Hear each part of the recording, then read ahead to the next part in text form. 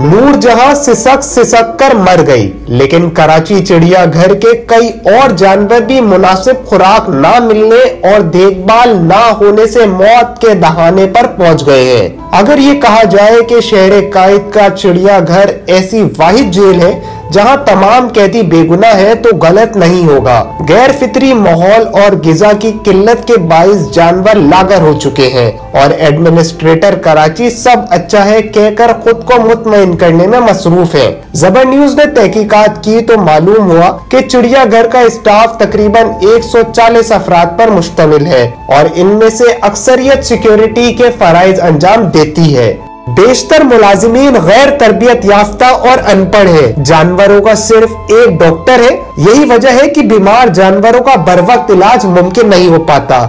चिड़ियाघर के कुल बजट में से 80 फ़ीसद मुलाजिमीन की तनख्वाहों पर खर्च होता है और जू का इसार इमदाद पर है। जो मिल के खा जाता है। यहाँ बंदर और बरमानस का लोगों के दिए हुए खाने पर गुजारा है। कुदरती माहौल और मुनासिब खुराक न मिलने के बाईस जानवरों की सेहत मुसलसल खराब हो रही है। कछुए मुनासिब देखभाल न होने से निढाल है, जबकि शेर और टाइगर खुराक न मिलने के बाईस कमज़ोर हो चुके हैं। शेर की हालत ज़्यादा खराब है और वो अमूमन बैठा नज़र आता है। जंगल के बादशाह की हालत का अंदाज़ा आप इस वीडियोस और तस्वीर से लगा सकते हैं। खुराक की किल्लत और बर वक्त इलाज ना होने के बाईस 24 नवंबर 2021 को सफ़ेद शेर का इंतकाल हो गया था। सोशल मीडिया पर तनकीद हुई तो इंतजामिया ने पहले मौत की वजह टीबी का मर्ज करार दिया। फिर डायरेक्टर को हटाकर तहकीकात का हुक्म भी दे दिया था। शेरों जैसा हाल हिरनों का भी है। मुनासिब माहौल ना मिलने के बाईस हिरन लागर हो चुके हैं। दिसंबर 2022 को यहाँ सवा चार करोड़ रुपए के ठेकों में मुबैया करप्शन सामने आई थी और मामला हाई कोर्ट तक पहुँच गया था। मार्च 2023 में रकम की बर वक्त अदायगी न होने पर ठेकेदार ने खत लिखकर खुराक की फरामी रोकने का ऐलान कर दिया था।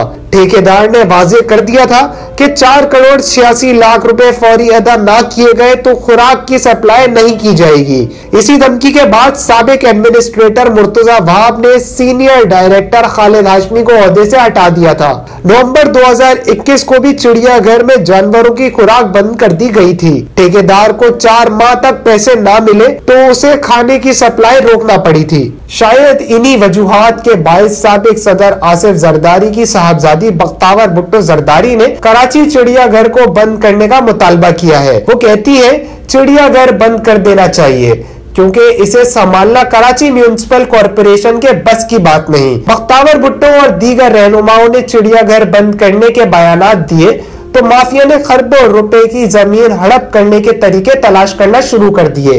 कराची का चिड़ियाघर 33 एकड़ रकबे पर फैला हुआ है। और पाकिस्तान के बड़े चिड़ियाघरों में शुमार किया जाता है। मोहसिन रजा, जबर न्यूज़, कराची।